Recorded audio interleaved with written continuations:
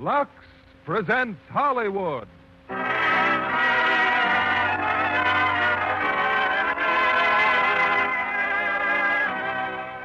Lever Brothers Company, the makers of Lux Flakes, bring you the Lux Radio Theater, starring Dana Andrews, Anne Baxter, and Cecil Kellaway in The Luck of the Irish. Ladies and gentlemen, your producer, Mr. William Keighley.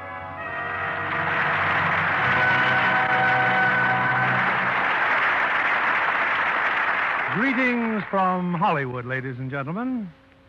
Tonight we have one of the strangest characters ever to appear in the Lux Radio Theater.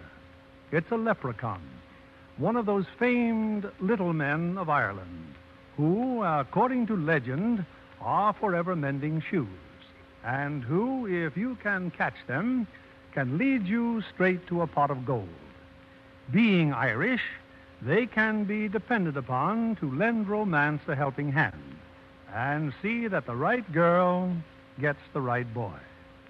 In The Luck of the Irish, adapted from the delightful 20th Century Fox picture, the right boy and girl are played tonight by Dana Andrews and Anne Baxter, and the mysterious leprechaun by Cecil Kellaway.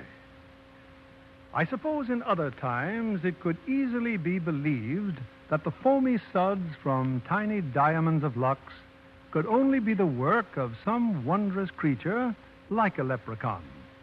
Actually, they're a triumph of the world famous Lever Laboratories. But however it happens, the leprechauns and Lux Flakes do their jobs the same magic way. Here's the curtain for The Luck of the Irish, starring Dana Andrews as Stephen, Anne Baxter as Nora, and Cecil Kellaway as Horace.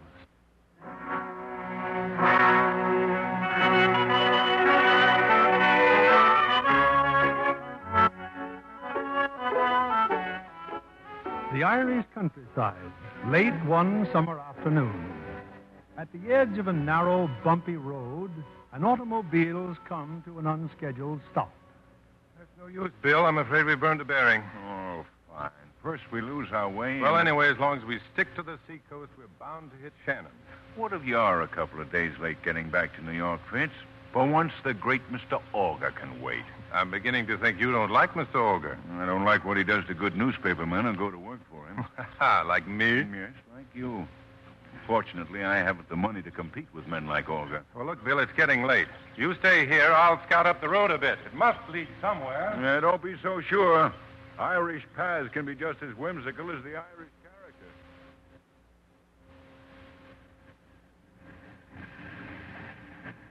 Oh, hey, hey, you. Wait a minute. What are you running away for? What do you want? What do you want with me? My friend and I are lost. Where's the nearest town? Lost, you say? Oh, then you didn't come here looking for me. Looking for you. Well, what would I want with a with a shoemaker? That is what you've been doing, isn't it? Mending shoes Yes, you are. Mending shoes. in the middle of the woods. Well, all I care about is getting to the nearest village. What might your name be? Now look, Your name? Fitzgerald, please, I'm in a hurry. Hurry. this is a strange word. Hurry. Why would you be in a hurry? Because there's a very important man waiting for me in New York. It's bad to see that you're impatient with me, Fitzgerald. Well, I've enjoyed our conversation. I won't detain you. Thank you very much. Uh, as for the nearest village, Yes? observe the stream and the waterfall. The water from the mountains comes into my pool with a roar and goes out with a whisper. Down the hill it goes till it quietly reaches the sea near a little village called Ballinaboon. You, sir, may do the same. Well, thank you very much. Good day. Oh, uh, just a minute. Can you tell me if there's a. Hey, shoemaker, where did you. He's disappeared.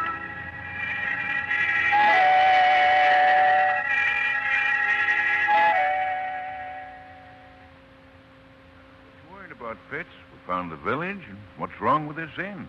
I think it's very comfortable. Without a telephone, without a mechanic, how are we going to get out of. Yes? Just me, sir. with your luggage from the car. Just set it down anywhere. I never should have listened to that old lunatic at the waterfall. Waterfall, sir. What for, waterfall is that? The one up the stream about a mile or so. Begging your pardon, sir. There's no waterfall. But I saw a waterfall. And I suppose I didn't see that old shoemaker either. Old shoemaker. Yes, the, the one with the green coat and the brass buttons. Green coat and brass. Excuse me, gentlemen. I'd better get upstairs. Is everybody balmy in this country? He probably thinks you saw a pixie. I, uh, I brought some towels, sir. Oh, come in. Uh, what time is dinner? An hour or so, if Miss Dove doesn't take it into his head to start an argument. Well, it will if it's like everything else around here. Oh, you mustn't be too hard on us, sir. We're not used to having such grand guests all the way from America. Look, will you tell the old lady I'd like to see her, please? Uh, There's only one old lady here. You're seeing her now. Oh, then uh, tell me, what are the chances of getting transportation to Shannon? If you can wait. But I, I can't wait. Well, you see, the trouble is we're sea locked. Ocean on both sides of us. There must be boats. Oh, sure. Sean O'Fair'll be glad to take you in his boat when he comes in. Oh, when will that be? He should be back any day now. Any day. But I've, As I've I said, sir, dinner may be in an hour.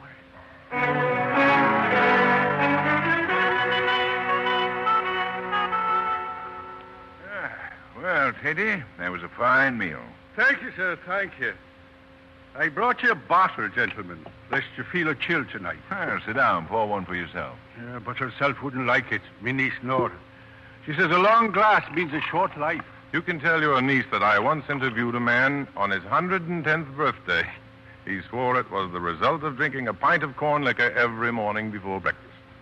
Do you tell me that now? it's the truth. 110 years. Oh, Tady, uh, how about that waterfall and the old man I spoke to? There's no waterfall. And it was no mortal man you had words with. Oh? Who was it then? I mind well who it was. 'Twas him, the leprechaun, and none other. Leprechaun. Now, see here, Tady. Mr. Fitzgerald, it was a great opportunity you had, and the saints forgive you for not taking advantage. Well, what should I have done? Seize the leprechaun, what else? Make him give you the pot of gold. Oh, yes. Yes, I remember now. Well, uh, Bill, I'm going up to bed. A little early for you, isn't it, Fitz? I'll read for a while. I'll see you at breakfast.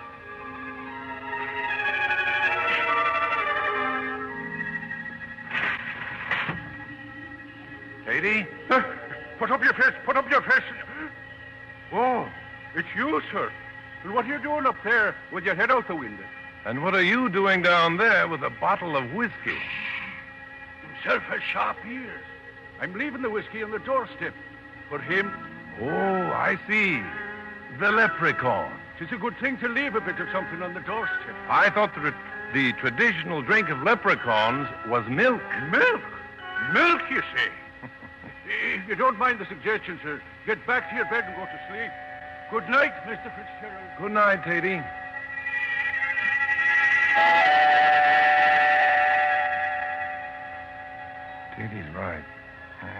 Sit here at the window all night. If Bill were awake, we could play a game or two. What's that? Someone's coming. Someone's coming down the road. The shoemaker. Well, this time he's not going to get away from me.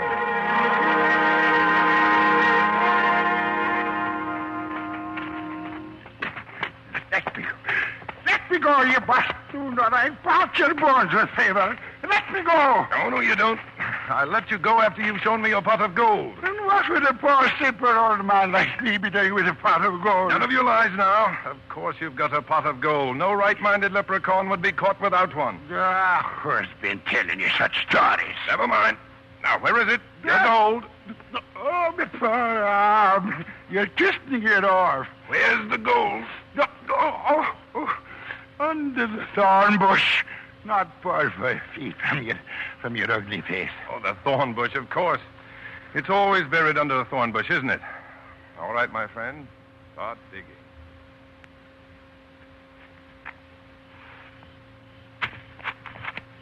Oh, the cruel, wicked thing you're making me do. It's your own fault for burying it so deep. there, there it is, my pot of gold. All right, lift it out. These, these coins. Well, they're real. For the real gold. Now, look. I don't know who you are or what sort of game you're trying to play. Did you steal this money? I never stole anything in my life, except what was rightly mine. Hmm. Well, that's one thing we have in common. Here, put it back. You, think you don't, you, asked me to put it back. You don't really think I'd take it, do you? Be, be part of gold. you give it back to me. Oh, oh, I'll never forget you for this, Mr. You are my undying gratitude, son. Here, here, here. Take this little bit for a kid. No, no, no, I couldn't. no, you should just take, take it. I, I want you to take it. Uh, one gold coin. Oh, thank you. No, no, it is I. It is I that am thanking you from the bottom of my heart. Well, all the luck in the world to you. You wish me all the luck in the world? Yes, why not? Fitzgerald, you have a way of twisting things in the most perplexing manner. It is I that am saying all the luck in the world to you. Goodbye, sir.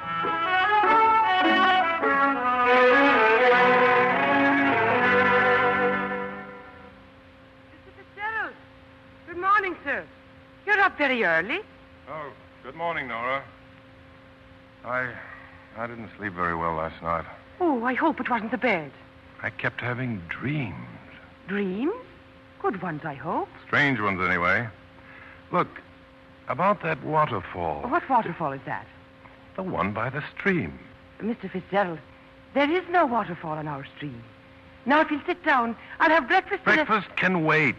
Mr. Fitzgerald. We're going to find out once and for all if there is a waterfall up there. But Uncle Tatey. Uncle Tatey can go and fly a kite. We're taking a walk.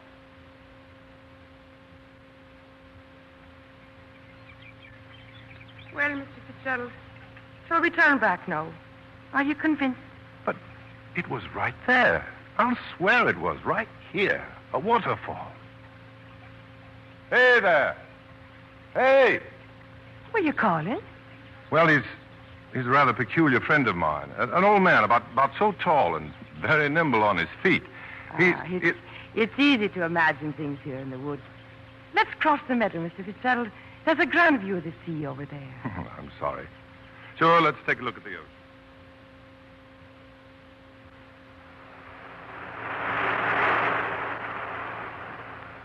And it's from out there that Sean O'Fairn's boat will be coming. I wish it were coming now. Is it so very important to you to leave here? What's the chance I've been waiting for? You see, Nora, ever since the war, I've been kicking around Europe, writing for newspapers, magazines. Your friend, Mr. Clark, is he a writer too? No, no, he's an editor. He'd like me to stay with him, but this other offer's just too good to turn down. Well, whatever it is you really want, Mr. Fitzgerald, I think you'll be getting it. Do you, Nora? Nora, you know, if I ever had a daughter, that's what I'd call her. Ah, then you're not married. Oh, but a man should marry, should he not? It's the natural rule and a good thing altogether. Well, what about you? Doesn't the rule apply to you? Oh, and who would I be marrying here in Ballynaboon? Michael the fishmonger, or O'Farrell who calls himself a farmer, or... Well, Oh, look, the boat. the one I'm waiting for? Yes, it's the Arana, Sean's trawler. And your wish has come true. But you look troubled. Nora, this coin. Have you ever seen anything like this? Oh, sure. It's an old Spanish doubloon. But how could I have gotten it? Oh, very easily. There have been many of them since the Armada was wrecked here. The farmers plow them up from time to time. I see. Nora, you know, it's funny, but now that I know I'll be leaving here, I half want to stay. No. A man like you, you mustn't be looking backwards. No, not ever. But forward to whatever you want from life. you shouldn't be so serious, Nora. Not about me.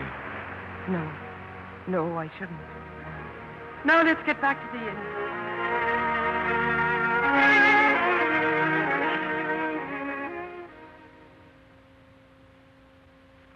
I know. I guess he's in Shannon, getting on that plane for New York. He's a wonderful man, Mr. Clark. He's a nice fellow, a first-class writer. But he's willing to throw it all away for money.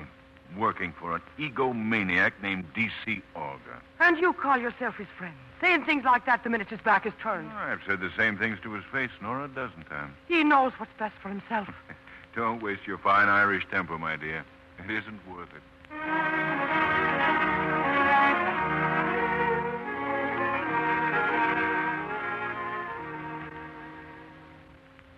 That's the story, Mr. Augur. A fishing trawler to Shannon, a plane to New York, and here I am. And now suppose you tell me something. After knowing me all these years, why do you suddenly want me to work for you? Well, because I made a big decision, Fitz. I'm tired of just being a publisher. I'm going to run for the Senate. The Senate? Mm-hmm. But where do I come in? You're going to see that I'm elected. Oh, no, I'm no politician. Exactly. Fitz, I've read every article you ever wrote for the American Spectator. Not that I agree with your conclusions, oh no, but you do know people and you understand the issues. Now, you take that piece you wrote about my Paris speech. You called it boneheaded. Dunderheaded, Mr. Augur. Well, the point is, you put your finger right on the weakness of my argument. I could have put my foot on it. Well, that's exactly why I want you on my side. I want you to write my speeches, Fitz. Be my right hand, my brain, my conscience. I see. Cover up your shortcomings by ghostwriting your speeches in the hope that people will be hypnotized into electing you. well, yes. But uh, why do you have to insult me? I have to do something for my self respect, in spite of all that money you want to pay me. then it's a deal. Okay, Good, good. We'll show them who's a dunderhead. that's what I'm afraid of. Incidentally, my daughter wants you to phone her. Oh, is she going to be busy tonight? I wouldn't know. Oh, and uh, here are your keys. Keys. Yeah, I got you an apartment, you ungrateful hack. Here's the address. Thanks. And my secretary's getting you a servant. Servant? Mm-hmm. Well, I've never had a servant in my life. Well, we can't have you bothered with trifles, Fitz. Got to keep that brain of yours on ice. We're going to do big things together, my boy. Now, if you want to call Frances, there's the phone.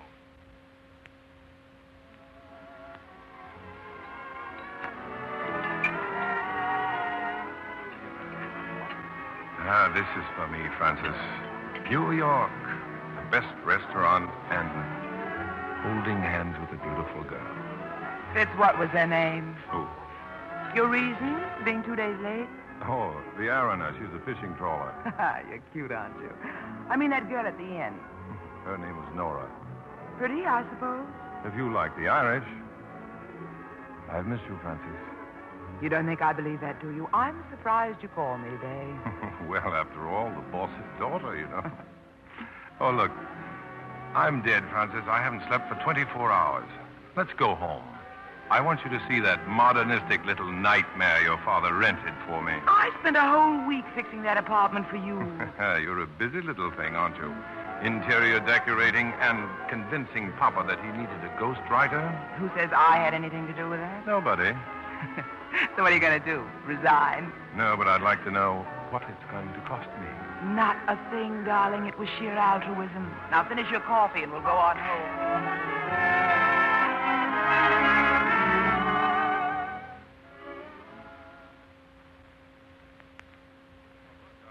I am tired, Frances, but you can stay long enough for a drink, can't you? But I don't usually drink with people I hate, darling. Now she hates me. Shall I tell you why? Because all the time you were away, you kept coming between me and whatever I was doing. Because I ate, dreamt, slept, and lived you. You and your black magic. I hate your superiority, your black Irish eyes, and your arrogant nose, and if you're not going to kiss me. Oh, what was that? Door buzzer. Excuse me. Who else knows that you live here? Yes? I'm from the Acme Employment Agency, sir. The Acme employer. Oh, oh, yes. Well, uh, come in. Thank you, sir. The kitchen's in there. If you don't mind waiting a minute or so, I'll explain. Do I'd be glad to. This is a fine time of night to be sending people over. Well, did you say you wanted him tonight? I didn't say a word. It was your father's secretary. Fitz, what is it? What's the matter? That man. Who is he? How do I know? Excuse me a second. Uh, hey, you. Haven't I seen you someplace before? I wouldn't rightly know, sir. Depends on where you've been. Where did you come from? The Acme Employment Agency, sir. I mean, before that. My last place, sir. Where was that? Oh, there were no complaints. No complaints at all at all, sir. I take great pride in my work, enjoying myself. I'll uh, talk to you later. Yes, sir. Well, I still have a feeling I've seen him someplace before. Well, how about that drink? Oh, I like the bar, Frances. Was that your idea? so was the scotch. See, your favorite brand. And I haven't even thanked you. No. No, you haven't. Then come here and let me begin. Can I help you, sir? Oh, for heaven's sake. Yes, you can. Mix us a drink. A drink. Right away, sir. Oh, I'm sorry, honey. But a servant wasn't my idea. Never mind my drink. I'm going. There's too much traffic here. it is a little crowded. Shall I see you home? No, don't bother, Fitz. I'll take a cab. Take me to lunch tomorrow. I'll stop by your office. Fine. Good night, baby. You can throw that other drink away. Throw it away, sir. Oh, it's a great pity, sir. One should not waste good food, one should not. All right, all right. Drink it yourself then. Oh, well, if you insist, sir. I beg your pardon, sir, but there's something wrong. The way you keep looking at me.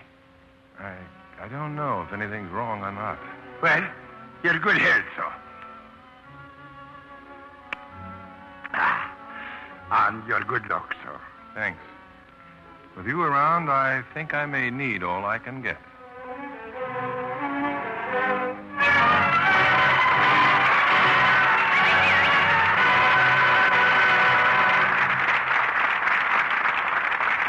Stars will return with Act Two of The Luck of the Irish in a moment.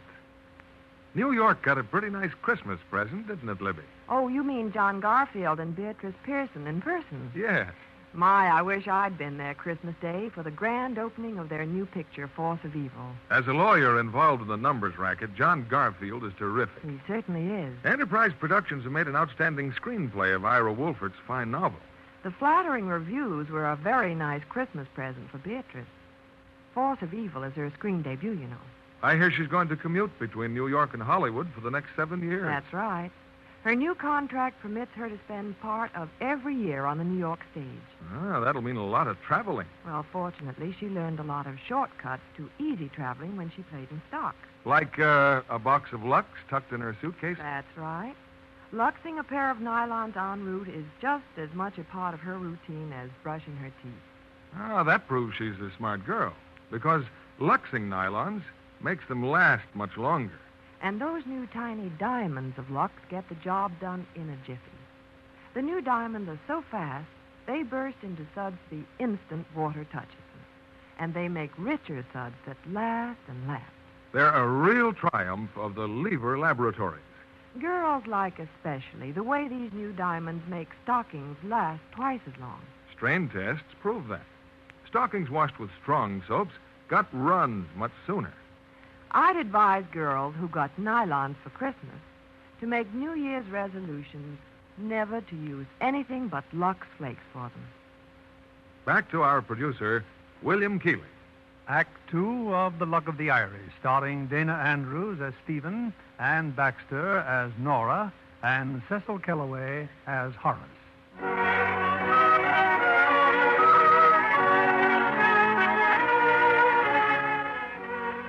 It's a moment or two later, and Stephen Fitzgerald stares blankly at his newly acquired manservant, an elderly gentleman bearing a remarkable resemblance to a certain leprechaun from County Clare in Ireland. And you say the Acme Employment Agency sent you here. Yes, sir. What's your name? Well, you, you might call me Horace, sir. I've always had a fancy to be called Horace. Now, what about your salary? Oh, oh, that's all been taken care of, sir. Oh, I see. Mr. Augur's office, huh? Yes, sir. It's incredible. Sir? Oh, nothing. Oh, I'm going to bed. Oh, uh, I'll have breakfast tomorrow morning at 9 o'clock. Yes, good night here, Mr. Fitzgerald. Sleep well.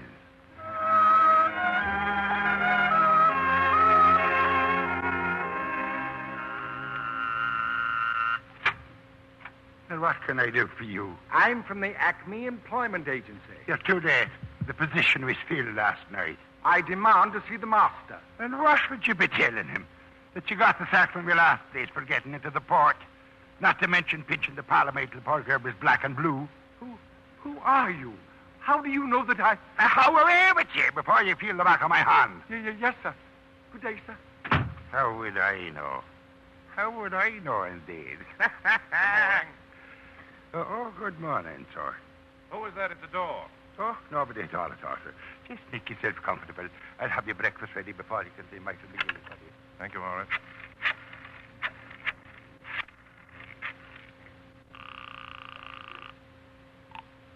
Good morning, Acme Employment Agency. This is Stephen Fitzgerald.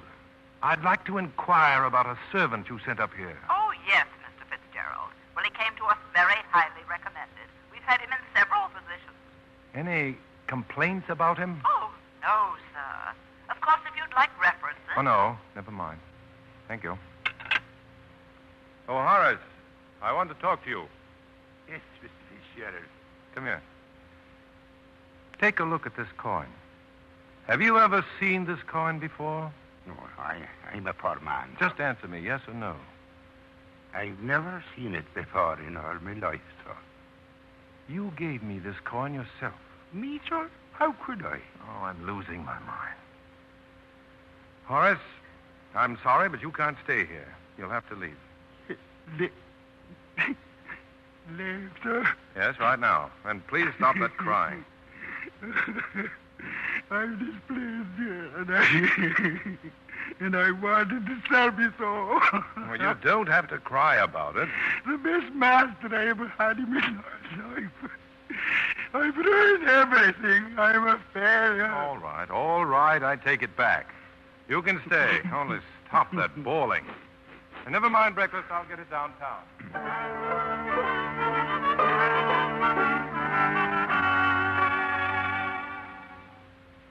Mr. Fitzgerald, sir, it's, it's 11 o'clock. You mentioned, you mentioned luncheon or uh, an engagement downtown. Yes, I know. Call downstairs, will you, and tell the garage to have my car ready? Yes, sir. Mr. Fitzgerald, I've been serving you now for two weeks, sir. I hope everything's satisfactory. Yes, everything's fine. I'll tell them I want my car. Yes, sir. You have a busy schedule today, sir. Then what are you waiting for? Just a suggestion, Mr. Fitzgerald. Leave your car at home, sir, and take the subway. But you lose in dignity, you'll gain in time. Huh? Well, maybe you're right. All right, I'll take the subway. Thank you, sir.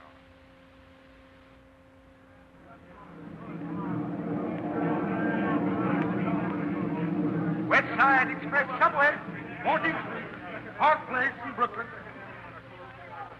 Nora! Nora, wait, Nora! Mr. Fitzgerald! Oh, it's, it's you! But it's impossible. You in, in New York at a subway station. It's a miracle. Oh, it's, it's hardly that. There's a perfectly reasonable explanation for it. It's still a miracle. A succession of miracles. Oh? You see, I didn't take my car today. My man advised me to take the subway. This is the first time I've been in one since I got back to New York. And if I hadn't taken that particular train, I never would have found you. Now tell me, how long have you been here? Where are you staying? No, I, I can't answer everything at once. I, I, I've been here five days. And you haven't called me. Oh, but I didn't know where you were.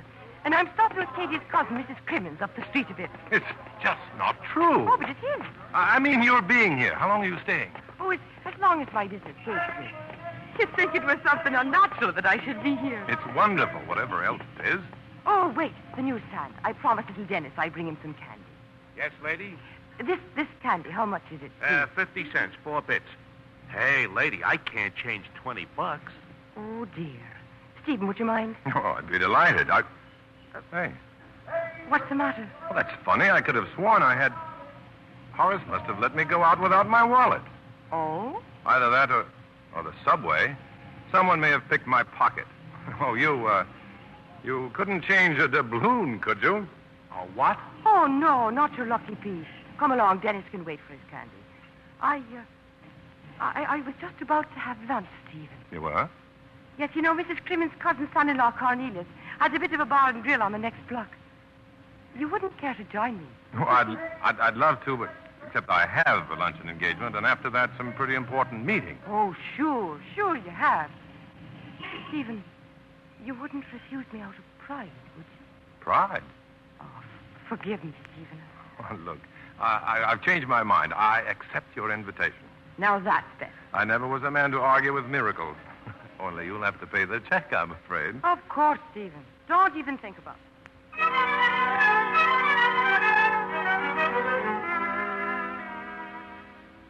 The check, Miss Nora. You said give the check to you. Yes, Cornelius. The poor boy, he hasn't got a penny. He was going to get a fine job, but I guess it just didn't work out. Would you believe it? He hasn't 50 cents to his name. I'll give him some more stew. A little more stew, sir. Oh, no, please. I, I couldn't. Oh, give him some more, Cornelius. Tis me own wife's Irish stew, sir. And that light it wouldn't distress a canary. Well, just just a little, then. Oh, Stephen, I, I didn't tell you that Cornelius's daughter's getting married on Friday with a, a big reception right here in the bar and grill. Oh, congratulations. Oh, thank you, sir.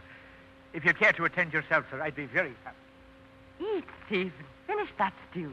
Oh, oh, yes, the stew. But you still haven't told me. What are you doing in New York? Oh, it's very simple. Sadie's Uncle Peter died here and left him a bit of money. Oh, that's that Mr. Crimmins you mentioned? No, no, his Driscoll uncle from Galway. The one that married the youngest Brady girl whose father had the farm next to Sweden. Oh, I see. That one. Yes, you see, Mr. Driscoll had four sisters, and the eldest was married to Seamus Corrigan that had a public house in Limerick that failed for drinking with the customers. So my father took Tady on as a lad to help with the horses, and then he came to America. Corrigan? No, no, Stephen. Uncle Driscoll, as I'm telling you. You see, his favorite sister was Kathleen. That's Tady's mother. He went to sea. He changed his will, leaving everything to Tady. He never cared much for Rory, that little snip of a Ryan girl he married. There was some trouble with the O'Sheas, of course. Oh, yes, of course. They thinking that their mother was entitled to a share, but Martin O'Shea had done well in marriage with the O'Dooleys from Knockashiga, and it being only a bit of an inheritance, a, a few shillings a month, there was no trouble to persuade him not to make any complications. That must have made everything very simple. Well, it would have been, but for Uncle Driscoll being a bit hazy in his notions and thinking that Tady was a girl. So he left his money to his beloved niece. Can you imagine? I can't understand what could have confused him. So someone had to come here to straighten things out. And Tady wouldn't budge. He mistrusts the sea and refused flat out to set foot on the Atlantic. So that's why I'm here. Well, I'm I'm very glad you made it so plain to me. and I'm very glad you're here, Nora. I, I never thought I'd see you again, Stephen. When I, when I knew I was coming, I, I wrote to that nice Mr. Clark in London, but he didn't answer. That's because he's in Paris. He, he did tell me one thing though before he left Ballinaboon, that whatever might happen, he'd be that glad to have you back working for him. Oh? So if, if it's a question of passage money, Stephen, I'm sure he'd advance it.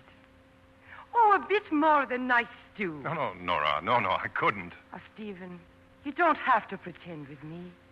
I wager you haven't eaten for days. Oh, I'm not that busy, believe me.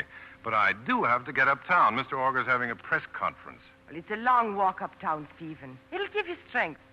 Cornelius, more stew. Oh, no.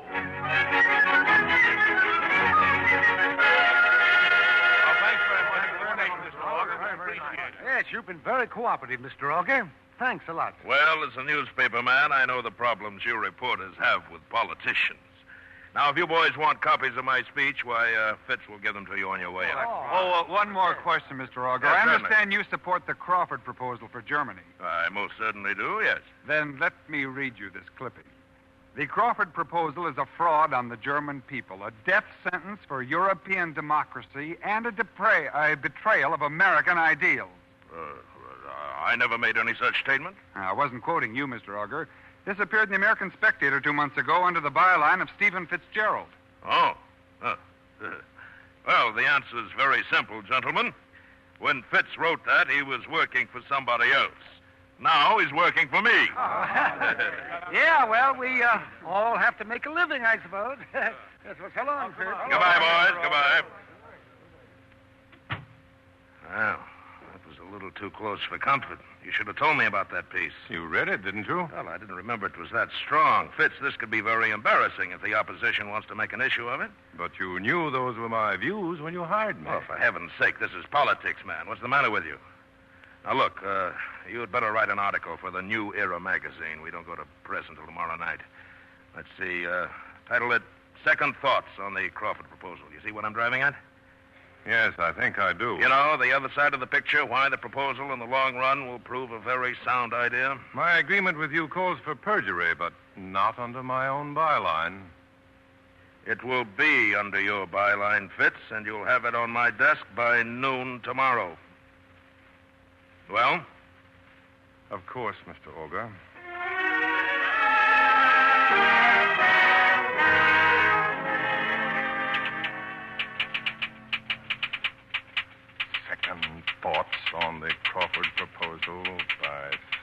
Stephen Fitzgerald. Oh, Horace, what are you doing here? I let you go out this morning, sir, without the clean handkerchief. I hope you'll forgive me. Thank you. I said to myself, I said, that poor Mr. Fitzgerald, writing all those important political speeches, and him without a handkerchief to put to his nose. You know, Horace, there is such a thing as taking one's job too seriously. Oh, no, sir. When a man enters the personal services of another man, he surrenders himself to his vocation. Should the master get hurt, the man will cry out. When the master's nose itches, it will be the man who sneezes. He will live for his master, sir, not for himself. But perhaps you find it difficult, sir, because you're the type that wears no man's collar, a proud free man. It is for that reason that I'm proud to be working for you. Will that be all, sir? Yes, Horace, that'll be all. Thank you, sir. Second thoughts, huh? You bet there'll be some second thoughts. It's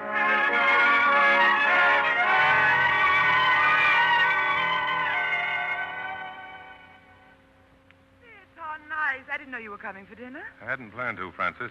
Look, uh, can I see your father? What's he done now? Been his usual sweet, tactless self again? It doesn't matter, but since you were instrumental in getting me this job, perhaps you should be the first to read my resignation. Oh. I guess I shouldn't tell you this, Fitz, because it's still supposed to be a secret, but if Dad wins this election, he's going to need someone to run the publishing business. Your father should stay away from politics. He has more power right now than a dozen senators. And when he's in Washington, the man who sits in his office will inherit that power. Not if Papa's still running things by remote control. Well, he won't be. I'll see to that. You? How? Oh. You leave that to me.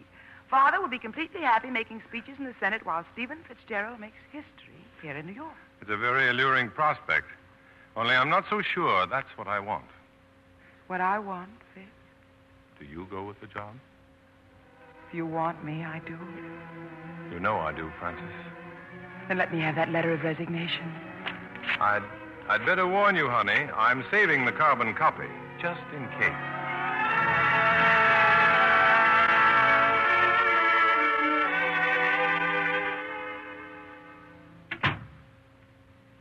Well, Horace, you needn't have waited up for me. I thought you might require something, sir. No, no. Oh, Horace, I'm going to be married. Aye, indeed, sir. Would it be the tall lady? Oh? Oh, yes. Miss Miss Olga, yes. Ah, he had a fortunate man, sir. She'll make you a fine wife, sir. It's a very important decision, marriage. Probably the most important decision in a man's life. Oh, indeed it is. May I ask you what prompted you to make it? Well, she's beautiful, for one thing. Oh, she is indeed that, sir. With a man's courage and a man's brain. Yes, sir. And is there anything wrong with a woman's courage and a woman's brains? We won't discuss it any further. No, sir. You have something against Miss Olga, haven't you? Me, sir? No one's forcing you to stay here, you know. No, sir. After the wedding, I'll be looking for another situation. Well, you don't have to make up your mind this minute. Will that be all, Mr. Fitzgerald? Yes, that'll be all. Good night, Horace. Good night yourself, sir. Oh! Oh, the saints forgive me, sir. I forgot to tell you that I'd waxed the floor. It was very thoughtful of you, Horace. Good night.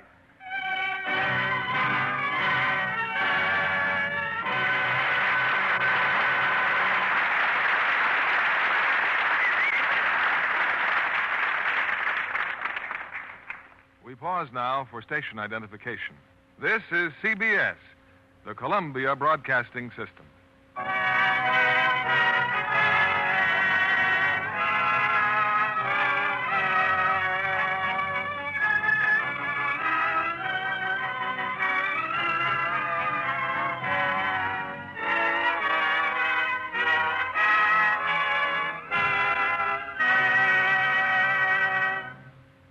Three of The Luck of the Irish will continue in a moment. Our guest tonight is one of those behind the scenes heroines of Hollywood, Margie Corso, head of the wardrobe department at 20th Century Fox. That's quite a responsibility, Miss Corso. It is, Mr. Keighley, Especially when we have a picture with as many gorgeous costumes as Gene Tierney wears in that wonderful urge. Oleg Cassini did a magnificent job of designing those glamorous costumes for his wife. Any girl would envy her. And besides that, she gets Tyrone Power in the picture. Who is excellently cast as a dashing reporter who writes scandalous stories about an heiress. This smart comedy, with its highly amusing situations, is just what the fans ordered for him. When we were fitting Gene's costumes for that wonderful urge, she admitted she adores pretty clothes. The negligees she wears in her dressing room are lovely. You take care of those too? Oh, yes. And with Lux Flakes, John Kennedy will be glad to know.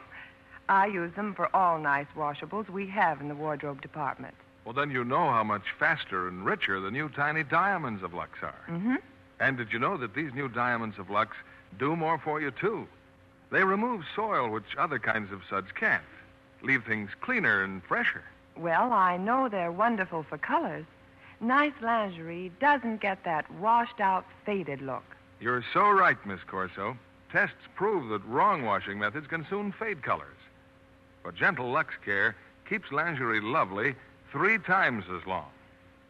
So, girls, if you want your pretty new slips and nighties to stay color fresh three times as long, be sure they get gentle Lux Flakes Care. Thank you for coming tonight, Margie Corso. Thank you. Here's our producer, Mr. Keighley. The curtain rises on the third act of The Luck of the Irish, starring Dana Andrews as Stephen, Anne Baxter as Nora, and Cecil Kellaway as Horace.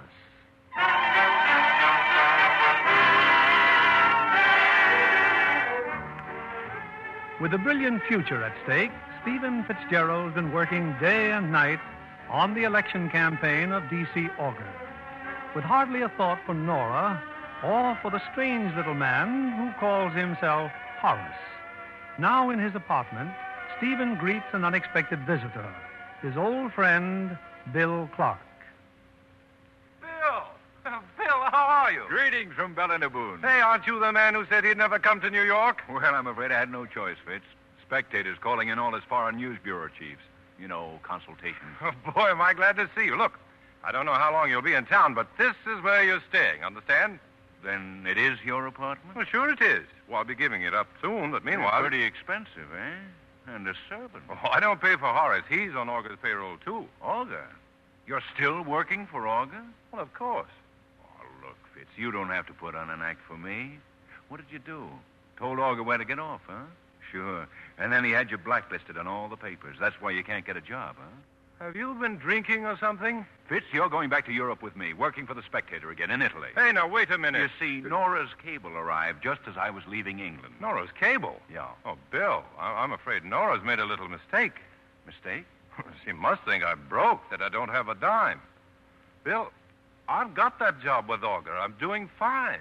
Oh, I should have known it was too good to be true. Well, hadn't you better explain things to Nora? Yeah, I guess I'll have to. Why, I, I just haven't had time to look her up. What's the matter with right now? Now? Oh, she'll be at that wedding. Wedding? Yes, at Cornelius's Bar and Grill. His daughter's getting married. But who's Cornelius? Why, he's Mrs. Crimmon's cousin's son-in-law, of course. Oh. Oh, of course, yeah. well, I'll be on my way, Fitz. You you won't stay here then? Well, thanks, but all the other boys are at the hotel, and I But thought I- I'd... Well, I'll, I'll see you before you go back to London, won't I? Well, I'll see you tonight, the Journalist Club. I'm going to hear your boss make his big speech. They tell me it's his chance to recapture the sympathies of the working press. I wrote the speech. Don't waste your time, Bill. so long, Fitz. Excuse me, Mr. Fitzgerald. yes, Horace? The tall lady, sir. She says she'd expect you to call for her at 7 o'clock. The tall lady, sir. Oh? Oh, oh, yes. Well, call her back. Tell her I'm tied up or something. Are you going out, sir? Yes, to a wedding reception on 6th Avenue.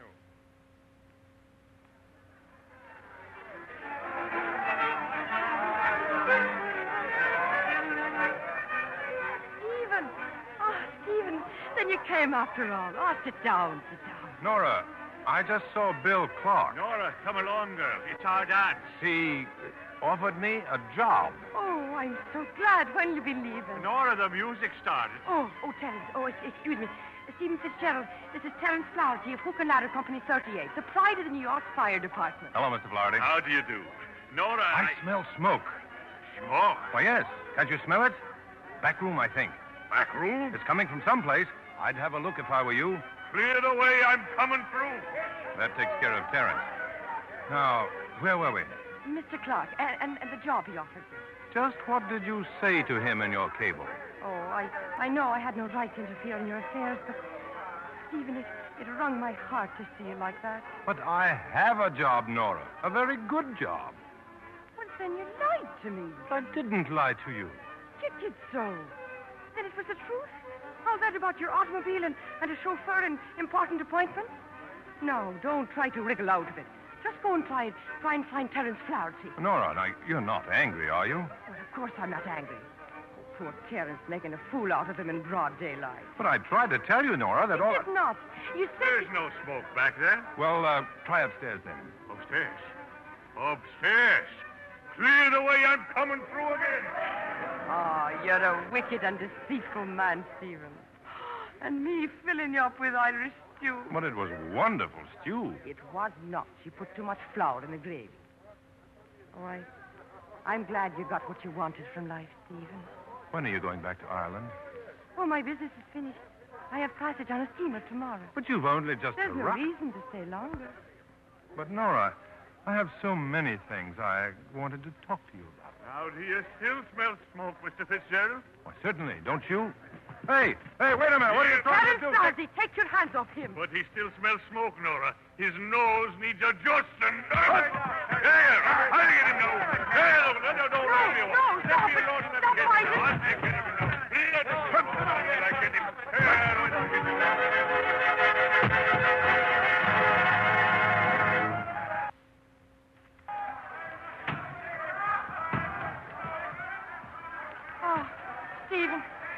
Stephen, are you all right? Oh, praise be you're alive. Oh, where am I? The bride and I, we dragged you upstairs here. Oh, it was all my fault. Well, hey, what's going on down there? Oh, they're still fighting. Everybody's fighting now. Oh, your poor head, Stephen. I, I guess I'm all right. Well, I'm, I'm afraid I have to leave.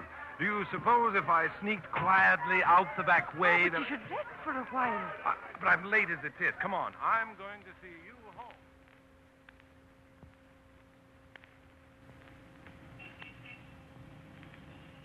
I live here, Stephen. And thank you for your company. Apologize to Terence for me, won't you? Goodbye, Nora. Goodbye. I was hoping you'd see me off on the steamer tomorrow. I'd like to. But, well, you see, I, I'm going to the country for the weekend with my fiancée. Fiance. I'm being married in a month, Nora. Oh, oh, I, I see. I wish you happiness, Stephen. Goodbye.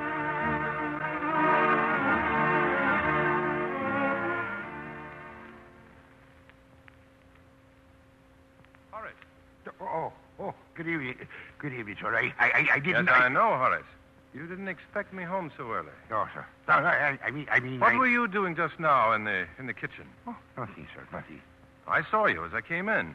You were mending shoes, weren't you? Mr. Fitzgerald, sir. And perhaps you can explain something else. Just a few minutes ago, I happened to put my hand in my pocket, this pocket, where I keep my gold piece. Only the gold piece was gone. Instead, there was this. Hmm. Tis a bit of a pebble, sir. Yes, a little black stone. But half an hour ago, it was a coin from your pot of gold. Uh, what sort of wild talk is that? I want the truth, Horace. You Sir, sir, let me go. Let me go! I don't know what you're talking about. What about that shoe I saw you hide? And what about the coin? Brett, take your hands off me. Take them off. There. That's better. Now, now, I, I'd be happy to give you any information you require. You're the leprechaun, aren't you? And I'm crazy. I am. Well, you see, I am. But as for your mental condition, just true you're a bit on the weak-minded side. But you're as sane as you'll ever be. Aren't you a little large for a leprechaun? Well, that's a page in my family history we won't go into if you don't mind. You brought her over here, didn't you? Nora. I didn't bring her over here. You brought her here yourself. Long ago. In your mind, Fitzgerald. Her physical presence alters nothing. What are you trying to do? Ruin my life? I came to you, Fitzgerald, prompted by the noblest motives. Simple gratitude and affection for yourself. For that reason only, I came to dwell in your cold, inhospitable city. And I don't mind telling you, I'm a little bit homesick. My nose itches for the smell of peat. My eyes water for the sight of a blackthorn in bloom.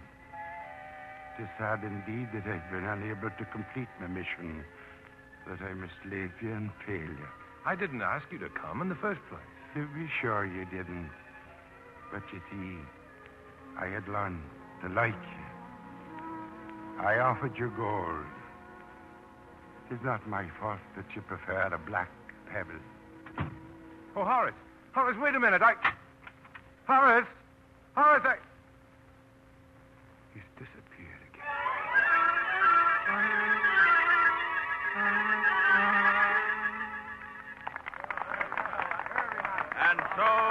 members of the Journalists Club, I hope you won't be too hard on me.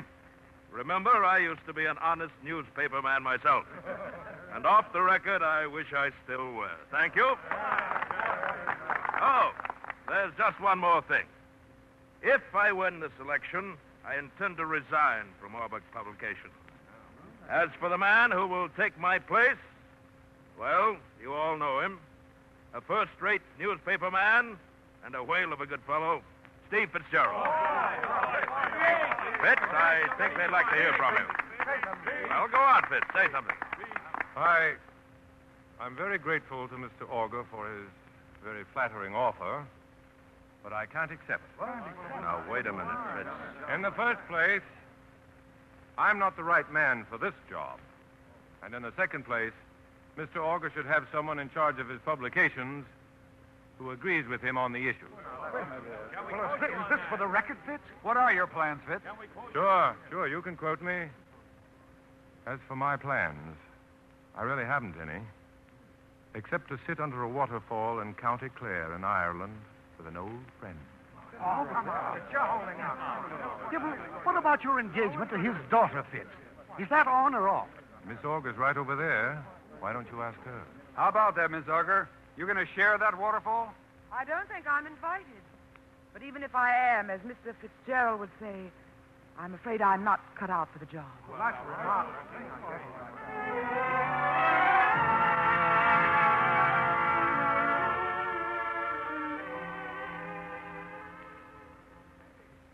Where is he, Katie? Where's Fitz?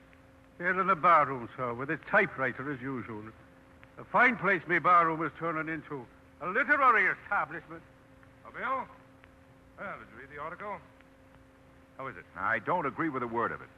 Why not? Because anyone who knows anything about conditions in Italy would Listen, I just came back from Italy. You sent me there, remember? Well, I should have gone myself. And if you don't like the article, you can give it back to me. I'll send it to D.C. Augur now that he's safely back in the publishing business Uh, again. who said I don't like it? I'll run it as a series, Fitz. The usual fee.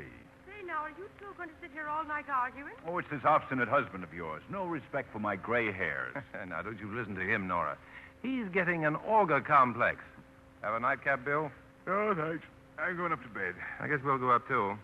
Uh, good night, Tatey. Good night, Mrs. Stevie. Oh, Tatey, you can leave that bottle on the table there. I had no intention of touching it. None whatsoever, I assure you. if you want anything, Bill, just sing out. And Thanks. I want a wife like Nora. Sorry, there aren't any more. Ah, I'll remember that, Bill. If he gets altogether unmanageable. Good night.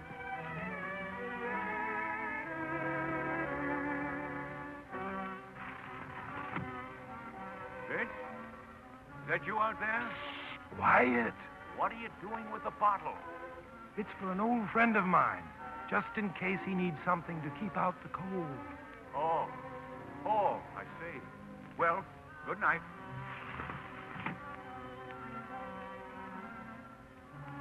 Fitzgerald! It's there on the doorstep, Horace. Thank you, Fitzgerald. Thank you. Tis I who say thank you, Horace, from the bottom of my heart.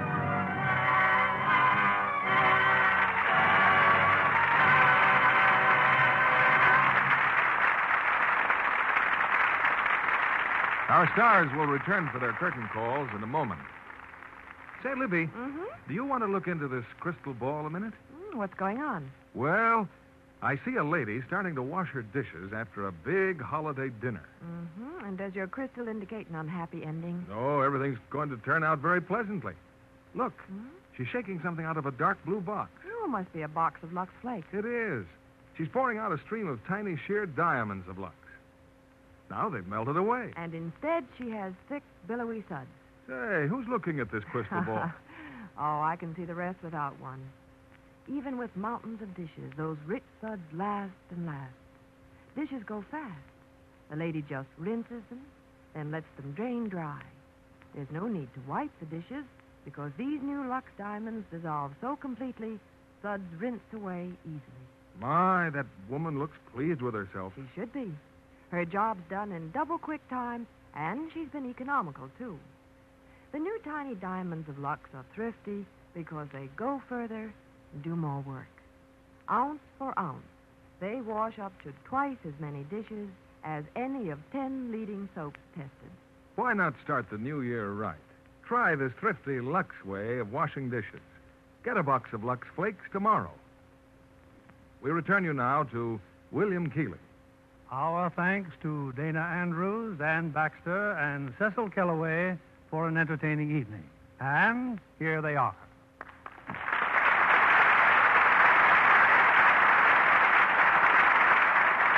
Dana has recently returned from England. In fact, he returned on that eventful voyage of the Queen Elizabeth. That was really an experience, Bill. There we were at the dock in Southampton, waving goodbye to everybody. Twelve days later, we sailed. Oh, that's a long time to wave goodbye. What happened, Dana? Among other things, the worst fog Europe had seen in years appeared without warning. A scientific phenomenon usually caused by cool air moving over a warm body of water. This is in Southampton, just about 200 miles from Ireland. Well, yes. Yes, it wasn't cool air. Must have been a leprechaun. anyway, we had a good time. Have you picked your play for next Monday, Bill? Yes, Anne, a delightful romantic comedy. It's the Columbia screen success, The Mating of Millie. And we'll have the original stars of the picture Glenn Ford and Evelyn Keyes. This is one of the most refreshing pictures of the year. And with Glenn Ford and Evelyn Keyes, I know we'll have a hit next Monday night. Hey, Bill. Bill, I think you've got a wonderful idea there. Jack Benny! Oh, really? I think.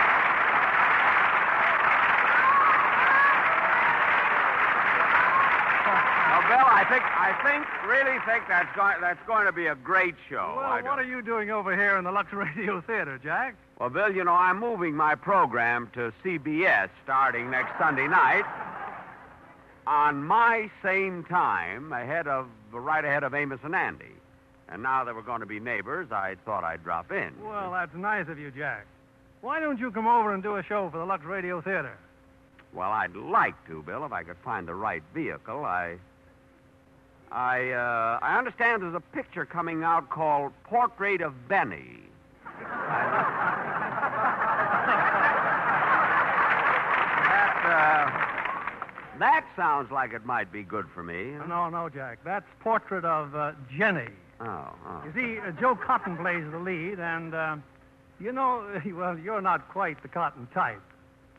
Well, I'm not exactly burlap either, you know. well, anyway, I'll try and think of something for Lux, and then I'll be back. So long, Bill. Good luck, Jack, on CBS Sunday night. Good night, Jack. Good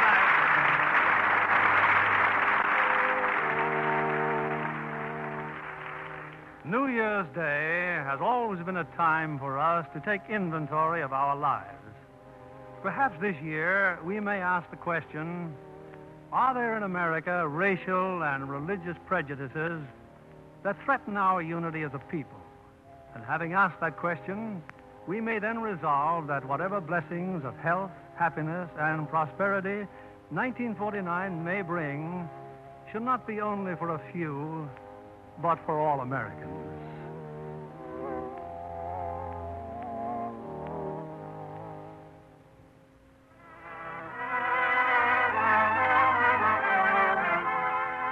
Brothers Company, the makers of Lux Flakes, join me in wishing you a most happy new year.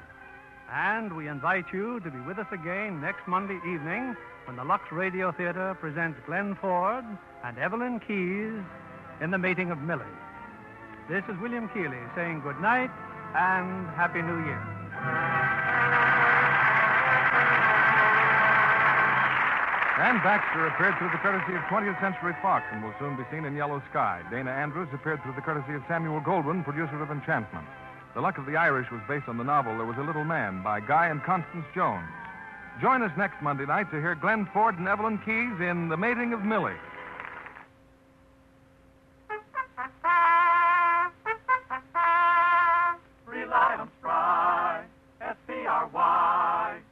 For lighter, finer, richer tasting cakes, Spry tops any other type shortening. Spry's amazing cake improver takes guesswork and hard work out of cake making. Try Spry's one bowl method for glorious cakes. For all you bake and fry, Rely on Spry, S-P-R-Y. Be sure to listen next Monday night to the Lux Radio Theater presentation of The Mating of Millie, starring Glenn Ford and Evelyn Keyes. Stay tuned for My Friend Irma, which follows over these same stations. This is CBS, the Columbia Broadcasting System.